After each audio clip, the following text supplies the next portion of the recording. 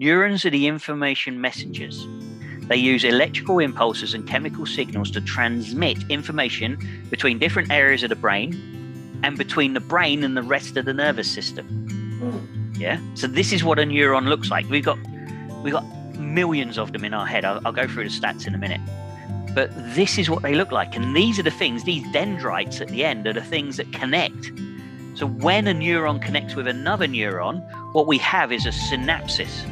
So this is what creates a connection. So when you have a thought, basically what you're doing is you're creating two neurons coming together, and it's like a and they join, and we create this synapsis, this connection.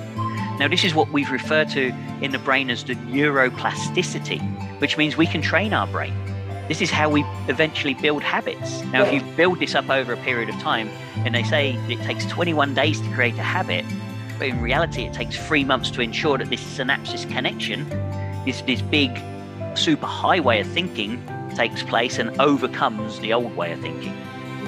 So, this is how we create habits. It all starts off with a thought.